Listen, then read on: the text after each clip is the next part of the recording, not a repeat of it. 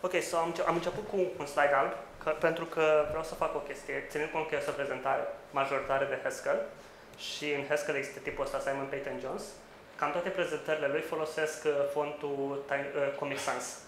Așa că o să folosesc și eu Comic Sans, doar că varianta open source Comic New. Deci începem cu fontul. So, o să fie o prezentare în care o să zic cam modurile în care putem să folosim equational reasoning în programare funcțională.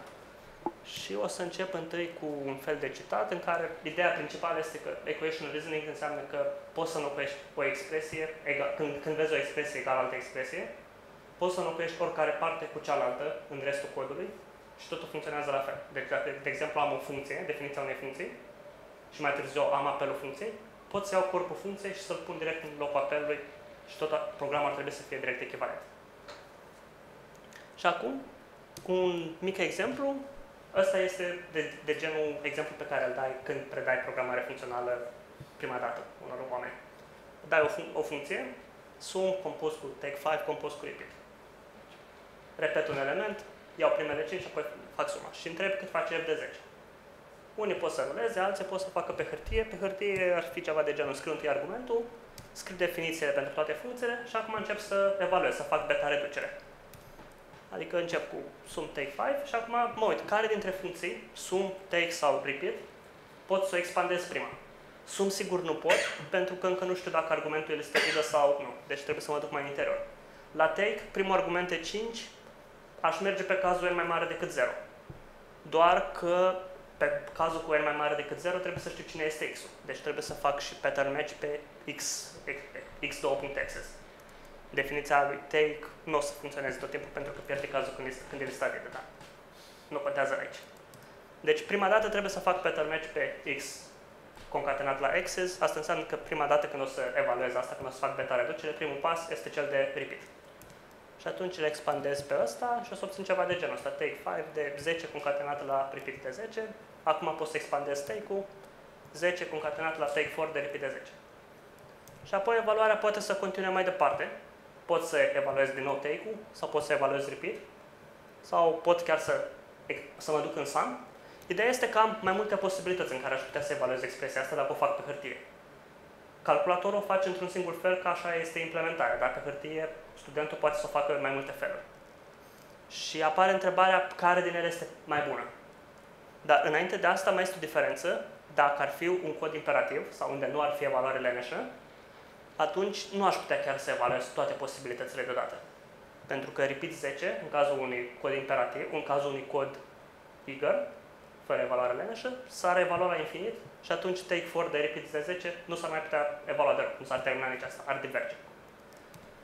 Practic, e diferența asta între lazy versus eager evaluation. Și mai avem o teoremă a lui Church și Grosser, doi, doi oameni. Ăștia au zis că dacă ai mai multe feluri în care poți să evaluezi o formulă, cât timp toate felurile, oricare din felurile astea nu ajunge la bottom, deci nu diverge, nu se termină, cât timp se termină, dă un rezultat, atunci toate rezultatele astea pe care le obții dau exact același lucru. Practic, e ca un fel de, de exemplu, este imaginea de aici, ai expresie 1 cu argumentul expresie 2, sau evaluezi întâi argumentul și atunci obții expresie 1 argument, sau evaluezi întâi expresie 1 ca să obții o funcție, și apoi aplici funcția sau evaluezi celălalt, ajungi în ambele cazuri la aceeași funcție aplicat același argument. În termen de categoria teoriilor, ar fi o diagramă care comută. Sau mergi pe o parte, sau mergi pe cealaltă, ajungi fix în același loc. Și asta chiar arată ca un diamond, ca un romb și de asta se cheamă teorema Diamond Theorem. Ok. În cazul ăsta, dacă putem să luăm toate cazurile posibile, nu o să stau să expandez toți pașii, ar veni ceva, asta ar fi o formă de evaluare. Poți să ai altele, nu contează. Ideea este că tu iei corpul funcției și îl înlocuiești în corpul de evaluare ca să vezi cum se evaluează. Așa e dau unui student să vadă cum funcționează codul. Asta este cel mai simplu exemplu de equation reasoning. Doar că ăsta e doar, scuze, ăsta e doar pentru cazul de debug. Ideea este, programarea funcțională chiar încurajează să te gândești asupra codului în forma asta de expresii matematice. Am o expresie egală cu alta, egală cu alta, atunci din tranzitivitate prima egală cu a treia și poți să folosești equation reasoning în o mulțime de locuri. Odată ca debugging, exact cum am arătat înainte, sau să înțelegi cum se evaluează codul, poți să folosești în momentul în care îți definești niște type class poți definești niște reguli și apoi să știi sigur că regulile alea sunt uh, respectate. Deci în momentul în care înțeleg, te uiți la un cod care folosește type clasul respectiv, îți dai seama ce face codul fără să mai trebuiască să reevaluezi, să te uiți să vezi care este instanța type clasului.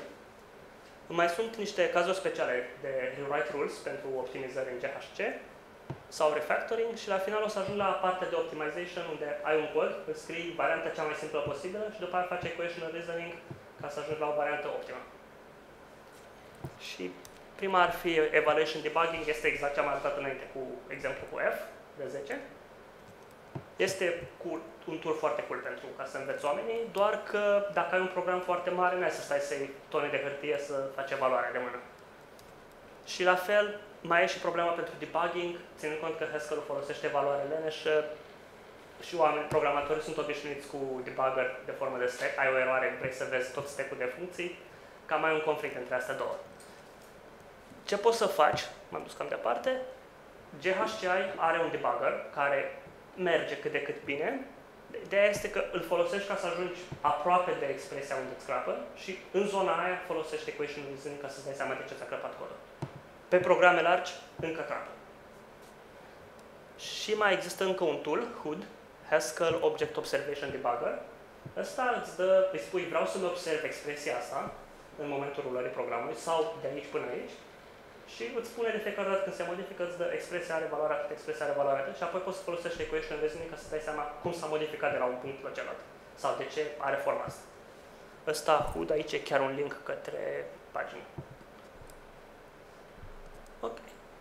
Ah. Ok, deci afișează structurile intermediare și poți să folosești equation reasoning ca să ajungi la starea în jurul bugului, în jurul problemei.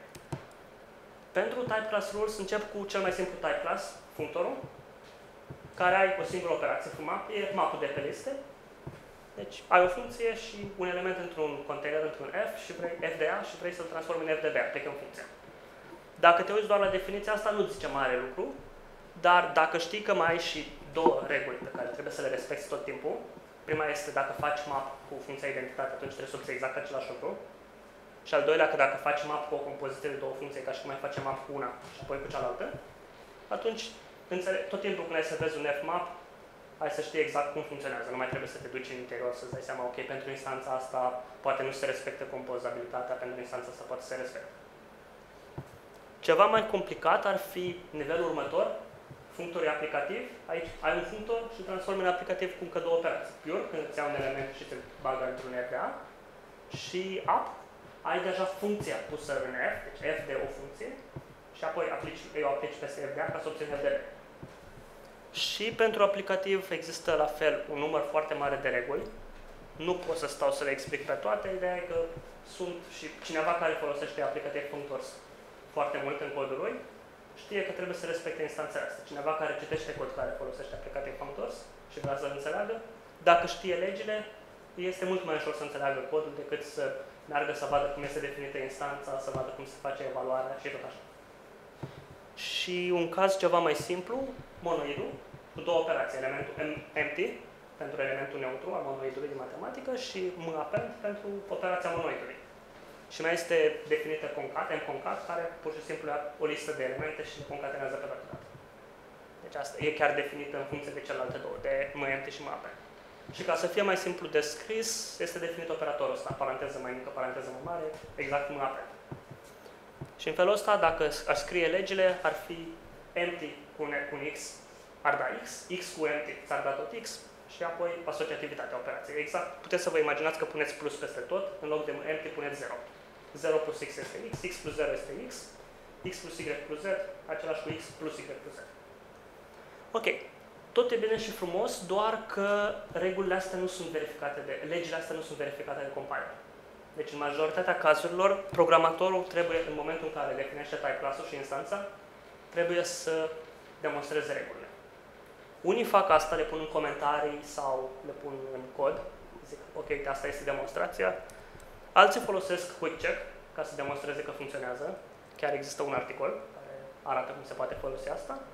Sau mai sunt cazuri în care deja obții legea pe, pe gratis. De exemplu, în cazul functor, din cauza că ai doar o singură operație în functor, FUMAP, din cauza că tipurile de acolo sunt toate variabile de tip, singurul mod în care poți să scrii o instanță pentru clasa functor este cel care respectă legile. Parametricitatea îți generează asta. În momentul în care A și B sunt variabile de tip, orice instanță a clasei functor ai să scrii, o să-ți respecte cele două legi de jos. N-ai cum să scrii Mai departe, la aplicativ, sunt cazuri în care poți să scrii o instanță a lui aplicativ care să nu respecte legile. Iar dacă te duci mai sus la monade și așa, sunt și mai multe cazuri. Alta, pe de altă parte, în momentul în care știi cum funcționează o instanță, cum funcționează un type class, știi exact cum o să funcționeze toate instanțele celui type class. Și asta te ajută foarte mult, de exemplu, la monade. Ai un cod care funcționează pe maybe A, când îți poate întoarce un rezultat sau niciunul, ți-e foarte simplu să îl schimbi la listă de A, când îți poate întoarce oricâte rezultate, 0, 1, mai multe, non-deterministe. Nu mai trebuie să mai schimbi nimic în cod, schimbi doar uh, semnătura de tip și atât. Ținând cont că amândouă sunt instanțe ale același type class, maybe și lista sunt instanțe ale același type class, schimb doar semnătura și restul codul știi deja că este corect. Practic este un fel de refactoring pe care nu prea poți să folosești în alte limbaje decât dacă ai legile astea care știi că se respectă. Deci Salot îți dă dreptul, îți, îți permite să poți să faci un fel de reasoning de nivel mai înalt. În loc să fac reasoning direct cu tipul, fac reasoning cu o clasă de tipuri la un loc. Și, cum ziceam, poți să schimbi semantica programului fără să schimbi prea mult performanța sau restul codului. Ok, și acum ajungem la partea de rewrite rules de GHT. Așa, cam așa arată o regulă, deci este un comentariu. Acolo de linii înseamnă comentariu pe mai multe linii. Rules îi spune compilatorului, fii atent că aici urmează partea de reguli de rewrite.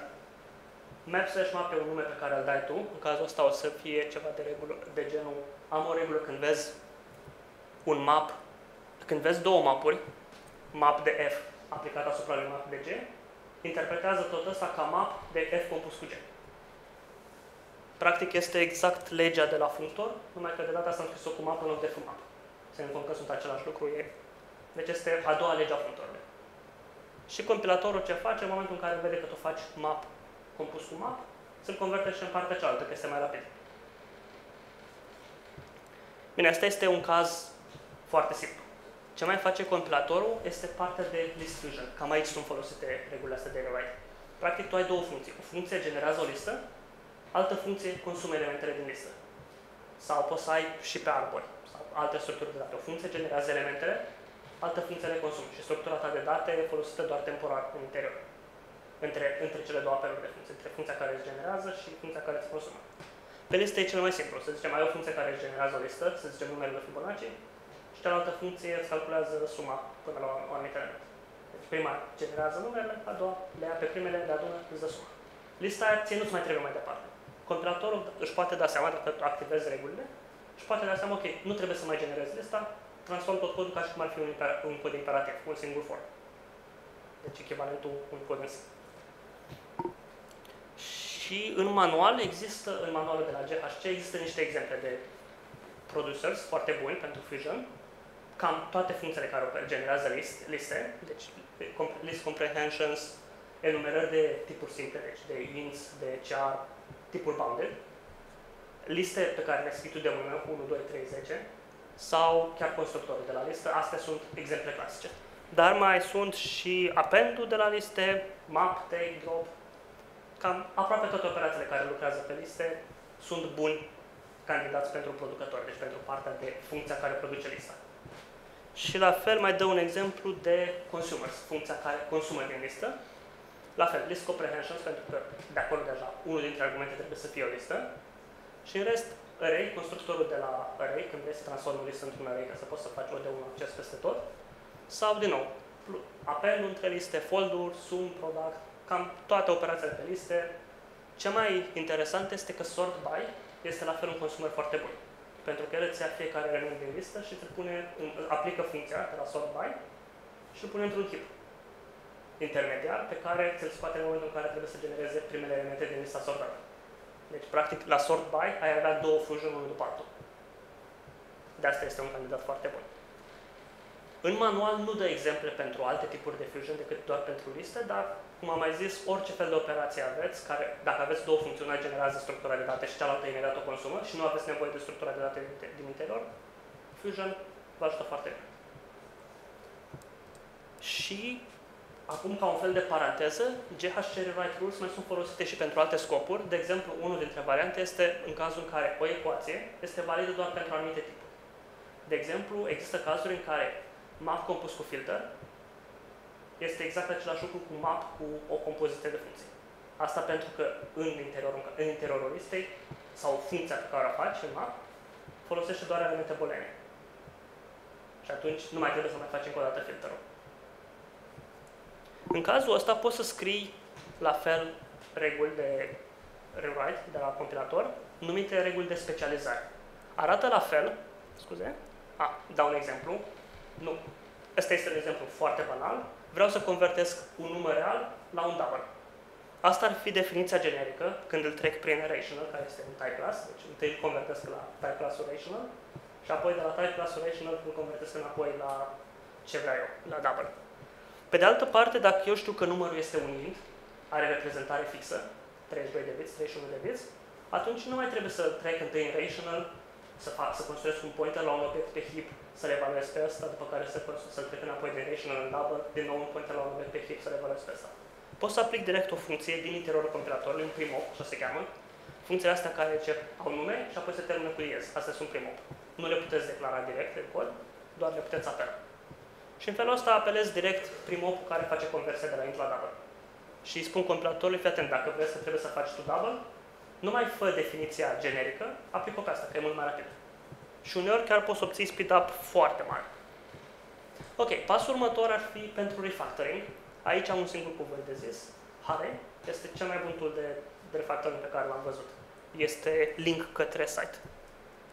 Deci, Hare, dacă faceți click pe el, vă duce direct la site puteți să faceți refactoring, să mutați funcții dintr-o parte în alta, să schimbați tipurile între ele, să orice. Imaginați-vă un debugger de idee de Eclipse, un, uh, profile, un uh, refactorer de Eclipse. Ăsta face toate lucrurile de acolo și mai multe. Totul bazându-se doar pe equation reasoning în spate. Deci totul este deja implementat. Nu mai trebuie să scrieți voi nimic de mână. Doar spuneți, vreau să muți bucata asta de cod într-o funcție separată. Vreau să iasă două funcții și să le fuse together. Știți să facă asta. Ok. Pasul următor, Theorem Proving. Aici chiar folosiți Equation Reasoning de mână pe hârtie foarte mult. Uh, de regulă sunt cursurile astea de analiză algoritmilor, unde se face prima dată Theorem Proving cu Equation Reasoning, este pasul de structural induction. Ai o structură de date, are niște constructori și vrei să demonstrezi o proprietate pe ea. Și încerci să aplici pe diverse constructori, ca inducția matematică, numai că nu o să faci P de n implică P de n plus 1, ai să faci P de un constructor implică P de structura de date cu un element și constructorul respectiv și tot așa pentru toți constructorii. O să vă arăt un exemplu în curând. Doar că înainte de asta vreau să fac o diferență între două concepte, conceptul de data și conceptul de codata. Data înseamnă ceva finit, un arbore finit, codata înseamnă ceva infinit. Ai un generator pentru structura de date, pentru tipul, pentru datele respective. Doar că sunt infinite, nu se oprește niciodată. Și din cauza că există diferența asta, în, în teoria categoriilor, data înseamnă final algebra și codata e final cu algebra. În teoria categoriilor, de fiecare dată când vedeți co ceva, înseamnă că este ceva respectiv, doar cu toate săgețile întoarse în sens invers. Am știu că a fost mai de mult o prezentare a teoria categoriilor, așa că... Ok, și acum hai să dăm un exemplu. Avem o, o funcție care calculează suma unei liste. Aia pe care am mai scris o dată. Pentru lista vidă sau pentru lista cu un element concatenat lateral. Pentru data, deci pentru o listă finită, merge fără probleme. Pentru codata, dacă aveți, de exemplu, fluxul numerelor naturale sau fluxul numerelor Fibonacci, nu o să se termine niciodată. Și vă cracă program. Pe când, aș, totuși ați putea să scrieți o variantă pentru cazul de codata, în care calculați suma până la un anumit element. Deci faceți, pornind de la un stream infinit de numere, construiți un stream cu toate sumele până la poziția curentă. Deci e un fel de map de la un stream la altul. Cam asta înseamnă codata map de la un stream la altul, map de la o structură la altfel de structură, dar ambele infinite și tot așa. Și acum, din cauza că sunt două feluri, pentru data se folosește structural induction, pentru că data este structural co-induction. Și o să vă arăt niște exemple de amândouă. Cel mai simplu pentru structural induction chiar folosesc sum de dinainte și vreau să zic că dacă faci sumă pe lista în care toate elementele le crești cu 1, atunci rezultatul este lungimea listei plus suma listei inițiale. Și asta se demonstrează foarte simplu prin inducție. Cazul de bază e lista vidă. Dacă aduni plus 1 la toate elementele din lista vidă, obții tot lista vidă, suma pe lista vidă îți dă 0. Pe de altă parte, lungimea listei vide este 0, suma listei vide este 0, 0 plus 0 dă 0. Deci asta, cazul de bază s-a rezolvat, îți dă egal. Pentru cazul de inducție, cazul inductiv, pasul inductiv, avem un singur constructor, cons. Dacă aveai mai mulți constructori la tipul tău de date, trebuia să aplici pentru fiecare din ei. Și aici zici ceva de genul sum de map plus 1, x concatenat la alte x-uri, iei definiția lui map, care zice aplic pe primul element și apoi concatenat la map pe restul listei, și de asta obțin x plus 1 concatenat la map pe rândul 2. După care e definiția lui sum care scoate x plus 1 în față și apoi reordonezi termenii ca să-ți dea pasul inductiv. Cam așa decurge partea de structural induction. Deci, pur și simplu te joci cu termenii între și iei definiția funcției o introduci în interior. Acum, pentru structural co-induction, codata, ăsta este mai interesant. Și o să folosesc un exemplu destul de simplu. Am două, două tipuri de numere, numerele Fibonacci și numerele Lucas. Sunt definite cu aceeași relație de recurență. Unul este suma celor două elemente de dinainte, doar că Lucas începe cu 2 și Fibonacci începe cu 1. Deci Fibonacci este 1, 1, 3, 5, în timp ce Lucas este 2, 1, 3, 4, tot așa. Și dacă vă uitați la cele două numere unul sub altul, o să vedeți că un număr Lucas este, poate fi scris în funcție de cele două numere Fibonacci de dinaintea lui. Este suma celui cu două poziții în față plus de două ori celălalt. Și acum am vrea să demonstrăm asta matematic, că noi aici avem doar câteva numere, poate mai încolo nu se respectă. Doar. În Haskell ar fi ceva de genul ăsta. Lucas de elementul n plus 2 din fluxul numerelor Lucas ar fi elementul n plus 1 din fluxul numerelor Fibonacci plus de 2 ori elementul n. Doar că aici ai avea acces o de n pentru primul, o de n pentru al doilea și demonstrezi pas cu pas. E cam aiurea. O altă variantă ar fi să demonstrezi direct pentru tot fluxul. Tail de tail de un flux înseamnă shiftezi toate elementele cu 2 mai departe. Deci este, a, a, în fiecare poziție iau elementul n plus 2 tel de flux de un stream este elementul n plus 1. Și în felul ăsta, ultima linie de acolo îți ia linia de dinainte, îți demonstrează relația de recurență între numerele Lucas și numele Fibonacci, deodată pentru tot fluxul. Iar ca să demonstrezi asta, aplici din nou equation reasoning, înlocuiești Lucas, înlocuiești Fibonacci și tail. Și un scurt exemplu de cam cum ar arăta treaba asta, arată destul de complex și am obținut doar trei, primul element ar trebui să continui mai departe ca să le obțin pe celelalte. Nu o să fac asta pe slide că s-ar umple slide-ul. Din fericire, nu trebuie să faceți asta de mână. Uh, o să mă întorc. Înainte de a ajunge la de ce nu trebuie să faceți asta de mână, de ce e greu să faceți treaba pe codata, a, deși conceptul a apărut prin 2000, foarte puțini oameni au folosit conceptul în mod riguros. Așa că au apărut foarte multe definiții contradictorii, foarte multe proof contradictorii, și e cam aiurea să existe o, un articol care să zic, ok, dacă vrei să faci equation reasoning pe codata, pașii de urmat sunt ăștia. Așa că în majoritatea cazurilor, oamenii nu prea folosesc co-induction pentru codata, folosesc doar induction pentru data, pentru structuri finite. Iar dacă vrei să ajungi la structuri infinite, demonstrezi și tu că îți dă pentru câteva elemente și gata. Sau folosești un tool numit Hermit, Haskell Equation Reasoning mai departe nu contează. Primul este link către chiar pagina lor, al doilea este link către Hackage și ultimul este un talk al tipului care a făcut programul cum arată. Și este foarte cool să folosiți Hermit, merge perfect. Deci vreți să demonstrați ceva, e perfect. Sau dacă nu vreți să folosiți Hermit, puteți să folosiți Coq, Idris, mai sunt și alte limbaje. Diferența fiind Coq și Idris sunt dependent types. Practic îți acordă și mai multe mai multă lejeritate îți acordă mai multă putere în a defini tipuri. În Dependent Types Languages poți să definești, de exemplu, vreau lista cu elemente, cu un număr par de elemente. Ăsta este un tip de dată. În Haskell n poți să definești asta. Și dacă vreți să vedeți cum se face o demonstrație de asta, puteți să căutați de o demonstrație pentru, teorema, pentru teorema celor patru culori, care zice că orice graf planar poate fi colorat cu patru culori, în așa fel încât două noduri vecine să nu, să nu aibă aceeași culoare.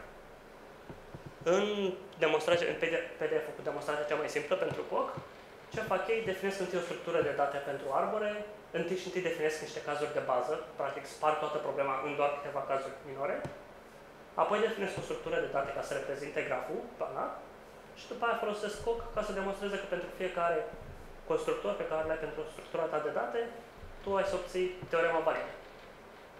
Iar pentru structura de date pe care o fac pentru graf, pornesc de la lista de adiacențe, deci ai un nod, lista de vecini, ajung la ideea că pe mine nu mă interesează chiar de la un nod să ajung la toți vecinii, mă interesează, având un nod, să pot să merg prin graf. Mă interesează de la un nod un vecin următor, de la nodul ăla un alt vecin, un alt vecin și tot așa până ajung la un ciclu. Și ei ajung la, cu equation reasoning, ajung la o reprezentare în care reprezintă tot graful ca un fel de ciclu între noduri. Și atât. Și pe asta o folosesc ca să demonstrez teorema. Ok, acum pentru partea de optimizări, partea cea mai importantă, cea mai interesantă, unde folosește equation reasoning, recomand cartea asta lui Bird sau articolele lui din General Functional Programming. Sunt toate numite functional Pearl și apoi descrie problema. Ce face el aici?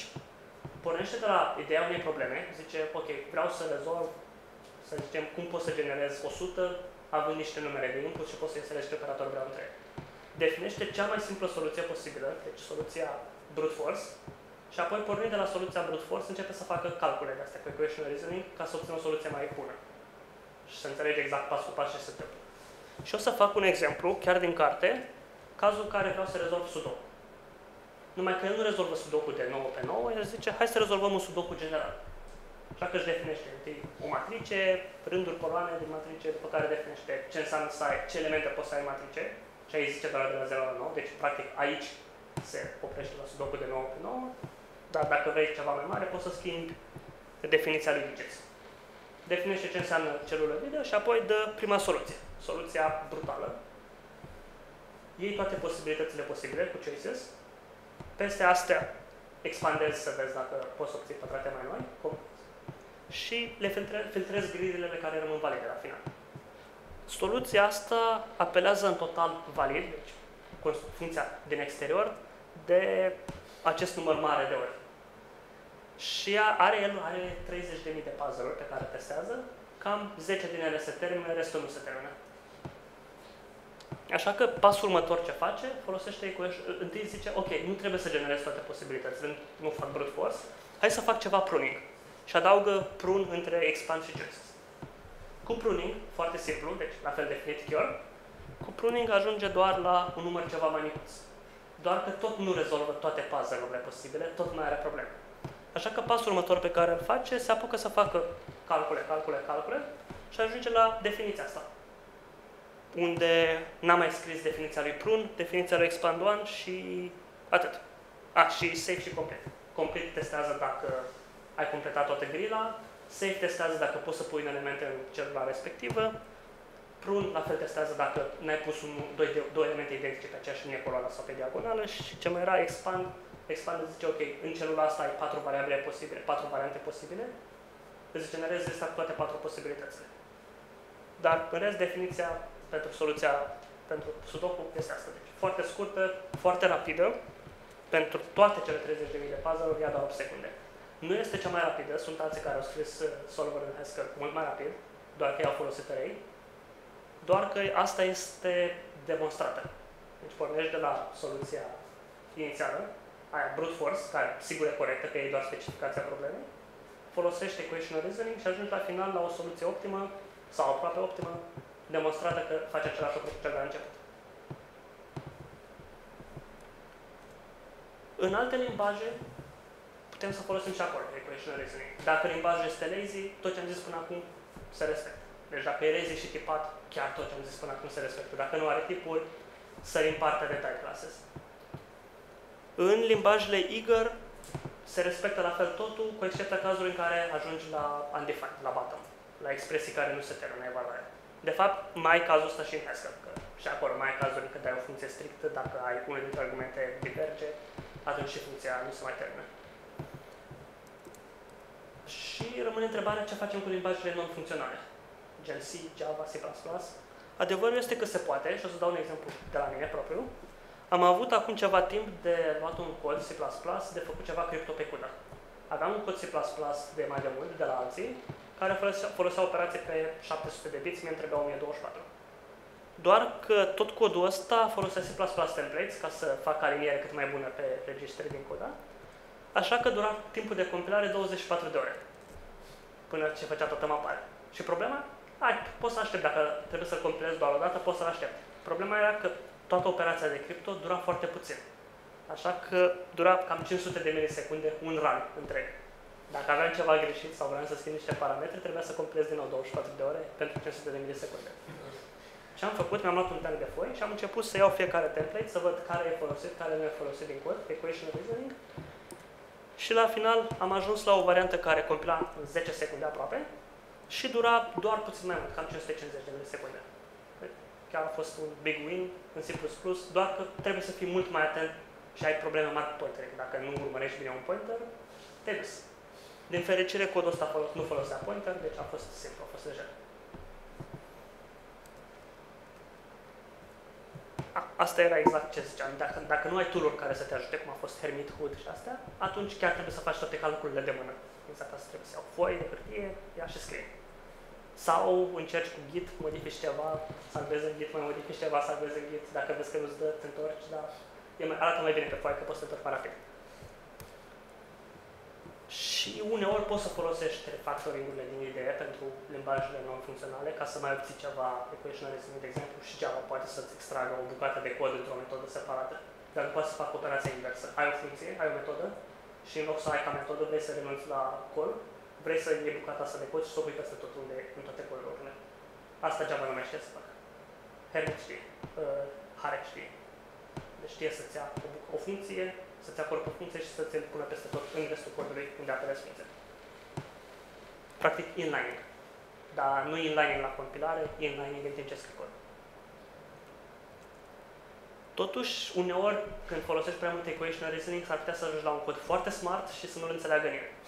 Și există un caz, prin 2009 a fost un thread pe lista de discuții de la Haskell, în care cineva a întrebat, ok, uite, eu aș scrie codul ăsta în forma asta, dar am văzut că altcineva l-a scris așa și nu, nu văd nicio paralelă între cele două coduri. Așa că ce fac oamenii de acolo de pe listă, încerc fiecare își propune întâi varianta lui de cod, unele mai apropiate de varianta începătorului, altele mai apropiate de varianta expertului, la final se trezește un ok, hai să arăt cum s-a ajuns de la asta la asta și face equation reasoning pas cu pas ok. Acum iau funcția asta, fac inline acolo. Acum generalizez tipurile, acum trec de la liste la în loc să consider listele doar ca liste, le consider ca monadă, aplic funcția de la monadă și tot așa. Și ajunge la final, la codul final. Numai că în timp ce face transformarea asta, introduce un mic bug. Că n-a fost foarte atât. Așa că tot timpul când faceți de asta, ar fi bine totuși să și testați. Și termin cu un citat chiar din același thread, în care cineva compara Perl cu Haskell, zicea că în Perl, codul clever e cel pe care l-ai scris când erai mai tânăr, în timp ce în Haskell codul clever e ăla pe care să scrii după ce mai înveți și încerci să faci legături între concepte. Și iată, dacă aveți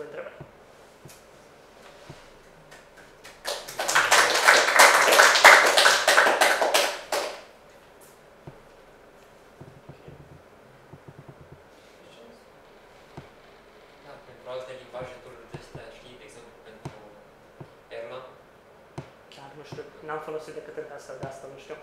Adică pentru C++ am avut nevoie doar atunci și am folosit direct hârtia, cel mai simplu tot, cel mai basic. Și în rest, de asta ce știam că poate, poate să facă ideo, că am avut cursul la facultate în care ne ziceau ideo, folosiți ideo, nu folosiți Vim, că ideo știe să facă. Și atât. Există un moment dat când ai explicat uh, inducția pentru uh-huh. date finite și co-date, uh, că e suficient să furnizezi un set de teste de cazuri inițiale. Pentru inducție. Da. Dai cazul de bază și după aia dai pentru fiecare constructor în parte. În cazul listei ai doar un singur constructor, consum. Dar dacă ai avea, de exemplu, un arbore binar, atunci ai un constructor când atașezi un nod în dreapta, ai, scuze, ai un constructor când ai o frunză a arborelui și alt constructor când ai un arbore care are rădăcină și doi subarbori, drept și stâng. Și atunci trebuie să aplici al doilea pas, cazul inductiv, pentru ambii constructori, odată când ai doar frunza și odată când atașezi în dreapta sau în stânga. În ce reținuți era că trebuia să furnizezi câte un caz din asta, câteva soluții și să inferezi de acolo sau așa se întâmpla. Se uh, cred că am zis... Și întrebarea era, dar dacă pui prea puține cazuri, nu este o chestie care ar putea să-ți dinamiteze? Uh, a, era aici, era când am definit cazul de Luca, când am definit relația între Lucas și Fibonacci, asta am definit-o doar pe baza relației ce am văzut pe numerele scrise până acum. Și exact ce ziceai tu, că dacă mai târziu se dinamitează relația și nu mai este valabilă, de asta am vrut să demonstrez mai departe. Deci există un, un soi de rețetă? Atâtea cazuri trebuie să iei Uh, nu, ca să nu. fie determinist? Uh, Nu. Deci la coinducție, la coinducție nu faci, nu determini doar câte un element pe rând. În cele din urmă când faci equation reasoning, aici, când expandezi mai departe, ajung primul element este 3, ok, asta știu, până aici am făcut calculele ca lumea, dar acum în loc să folosesc 3 ăsta, încep să rescriu în funcție de uh, secvența lui Lucas, ca să pot să ajung exact la definiția pentru Lucas sequence. Deci aici m-am oprit la începutul demonstrației, că deja era foarte lungă. Dar am obținut treiul ăsta și trebuia după aia să zic, ok, ăsta este al doilea element din Lucas. După care următorul element din fib- expresia de desubt cu 2 concatenat la map ori 2, asta tot o concatenam la, ok, asta este Fibonacci, asta este Fibonacci celălalt. Deci în cele din urmă trebuia să ajung 3 trebuia să-l convertesc la tail de tail de look și tot ce mai rămânea mai departe, zip uit toată bucata până la final, trebuia să o convertesc la partea din partea dreaptă, ca să pot să folosesc, să zic, cazul de bază. Revin la ceva ce am demonstrat înainte. Doar că dacă aș fi scris tot asta, îmi plan niște multe slide-uri cu cod și nu e ok.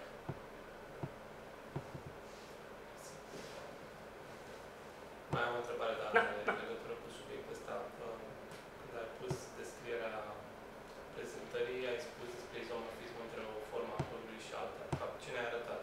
Treci dintr-o parte într-alta. Da. Și eram interesat uh, pentru JavaScript, de exemplu, pentru Node. Uh, ar suporta ca limbaj să... Deci îmi trebuie o școală cu care să schimb un soi de implementare care este făcut acum și care nu-mi place. Mhm. Așa? Să- Sau să zicem că am eu ceva, că nu-mi place și vreau să o Da. schimb. Dar uh, să o fac așa de mână e, mi se E pare un volum imens de muncă și nu să apuc să fac. uh, Da, pentru, din păcate pentru Node nu știu, pentru JavaScript nu știu dacă există. Deci tot ce aș face eu pentru JavaScript ar fi exact ce am făcut pentru cazul cu C++, să fac de mână.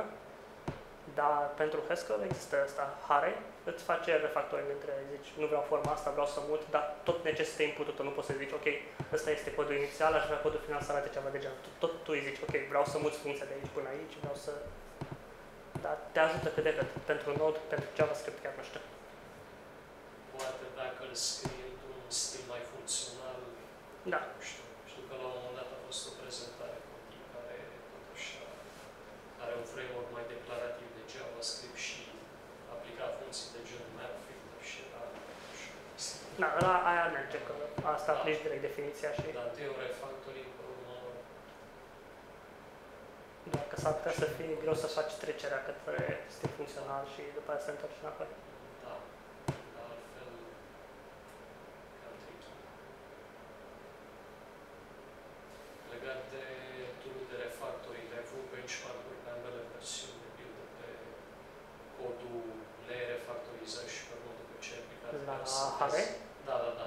Ai Am ca să făcut vezi dacă e mai odată, eficient. am făcut o dată și dădea cam la fel ce am făcut, dar n-am făcut mai, a- mai mult, a fost schimbare doar ca să arate codul mai frumos. Ah, ok. Deci, Deci nu e niciun... ce am făcut, am făcut pentru ăsta de, de, de, al lui de Sudoku, numerele pe care le-am prezentat erau ale lui din paper, am făcut și pentru, am testat și eu doar cu două, trei exemple, că n-am avut acces la exemplele lui Mhm. și chiar varianta finală mergea de 5-6 ori mai rapid pe ale mele. Da.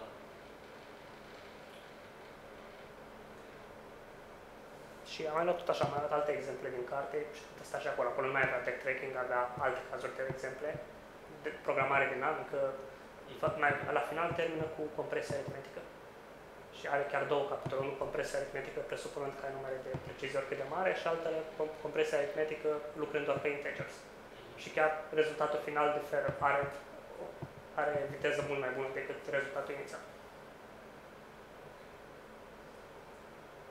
Dar la exemplu cu codul crypto din C, cu Mhm. template-urile, ai făcut ca să vezi care sunt folosite, ai făcut equational reasoning de mână sau ai... De mână, de mână, pe, de mână.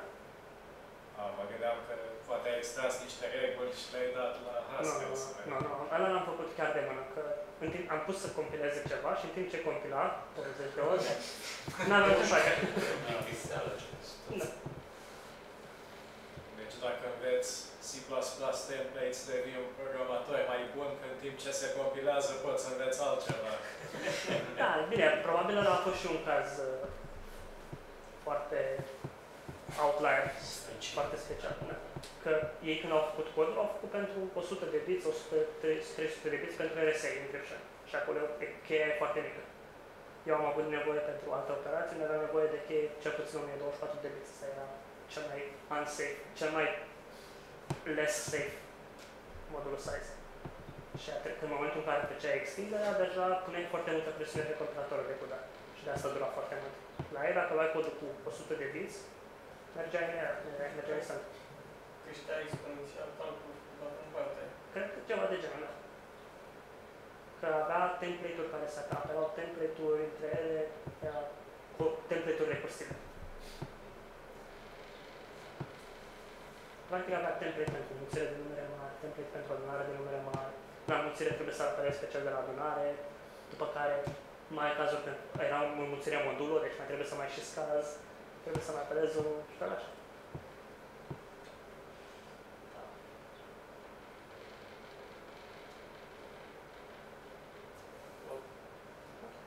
Am și un Da. two questions. Uh, Poți să dai puțin o slide la Primops? Acum, puțin curios. Încă unul, mai puțin. Asta. Deci, practic, chestia asta ce face? Ai definiția lui cu double. Da, asta este și o definiția. specializezi pentru inturi. Dacă o specializezi, dacă vrei să convertești un int la double, folosești direct definiția asta, care este primopul care tot ce face shiftează bits. E ca și cum ai face în C double de întreg. Deci, practic, e un, tot un fel de overload sau ceva de genul ăsta al funcției sau... Da, e overload-ul, că dacă ai face funcția generală, funcția cazul general, to rational îți creează un func, îți creează un obiect nu evaluat. Deci ai un pointer către obiect și codul încă neevaluat. From rational face la fel. Asta la altă face direct reprezentarea de bits, face casă. Practic, trebuie să fii un pic, un pic atent la chestia asta, că po- poți să Da. faci chestii urâte. Poți să faci chestiile da. De- Avantajul este că regula se aplică doar dacă se potrivesc tipurile. Dacă tipul nu se potrivește, deci tu chiar dacă ai declarat funcția în mod general, a, vreau să convertesc una la double, dacă o apelez cu un int, se apelează regula și se a- apelează funcția, da, funcția mai eficientă. Ok. Deci nu mai trebuie să stai tu să ții minte, ok, acum vreau să apelez, a folosesc doar un int, trebuie să apelez funcția mai eficientă. Ăsta era cazul în care nu foloseai regula. Înțeles. Ok. Și a doua întrebare era, ai idee dacă se poate folosi equation reasoning ăsta pentru a raț- raționa despre memorie? Mai exact, sunt cazurile alea în Haskell când memoria nu e alasă. Dacă poți să demonstrezi complexitatea spațială, practic. Uh, știu că avea în carte, avea Bird, avea în carte un, un- unul dintre capitole avea reasoning cât de mult te-a luat timpul. Adică are aproape în toate capitolele estimează complexitatea temporală. Și are în câteva, când face trecerea de la listă la array, face, estimează și complexitatea spațială. Ok. Dar tot așa, nu, nu cred că face, nu estimează și cât mai mult overhead obțin din cauza laziness-ului. Asta nu cred că am văzut, dar ar trebui să se poată. Că gen e uh, implementarea faimoasă de concat for drill Da. și foarte neintuitiv. Ai for drill care e teoretic ar merge în spațiu în spațiu liniar și dar plus plus merge mai bine decât for left care se Da. duce în pălării și acolo nu știu, s-ar putea demonstra, de exemplu, implementarea aia că merge într-o anumită complexitate Uh, probabil, nu, n-am testat. și cum aia, aia mi se pare Nu, N-am testat, o să mă uit. Mă rog, e era așa o curiozitate care mă Mhm, mm da.